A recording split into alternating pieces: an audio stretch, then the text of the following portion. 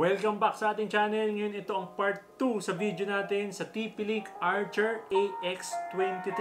Dito sa video natin na to, isa-set up natin itong Archer AX23. Sobrang dali lang i-set up nito. At mag-perform tayo ng mga speed test. Kaya tara, i-set up na natin.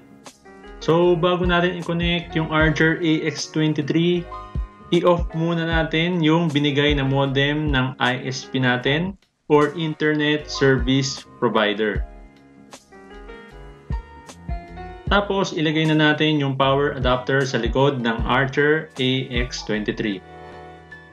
Ikabit na rin natin yung Ethernet cable na kasama sa box ng Archer AX23. Lagay natin yung Ethernet cable dito sa one port ng Archer AX23.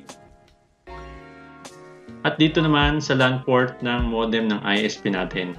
Once na makonect mo yung Ethernet cable sa modem ng ISP natin, i-on mo na rin to tapos, i-on mo na rin yung Archer AX23.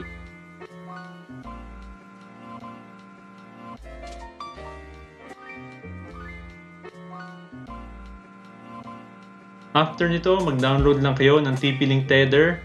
Available to sa Play Store sa Android at App Store naman sa iOS.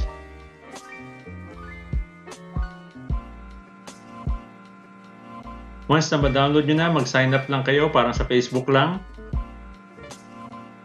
Pagkatapos nyo mag-sign up at mag-login, meron kayong makikita dito na may devices. Dito lalabas yung Archer AX23 pero sa case natin, hindi pa natin na-add. Kaya itap lang natin yung add router wireless router ito, nagawa na natin to kanina kaya itatap nyo lang dito yung connect hardware Next lang tayo ng next dito.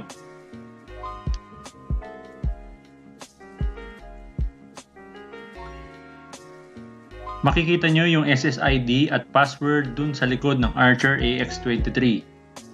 Kumunik lang kayo doon sa Wi-Fi ng Archer AX23 at i-input nyo yung SSID at password. Dito mag-create lang kayo ng bagong password para sa admin account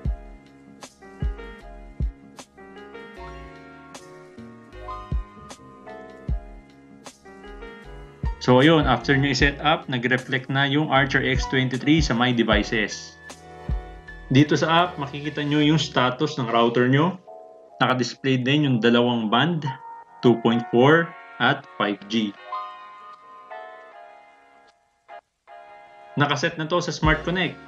Ibig sabihin, automatic na magsi-switch yung band ng router depende sa distance mo. Since malapit tayo sa router, nakaset siya sa 5 GHz. Pag lumuyo tayo, automatic na magseset siya sa 2.4 GHz. Dito, nag-conduct tayo ng speed test.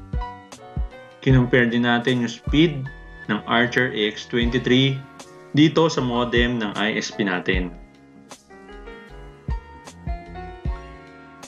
Hindi naman masyadong nag-increase yung internet speed natin, pero pagdating sa internet stability, doon mo makikita yung advantage ng Archer X23 dahil sa kanyang Wi-Fi 6 technology. Dito, tinesting natin lahat ng device ay naka 1080p pero walang problema.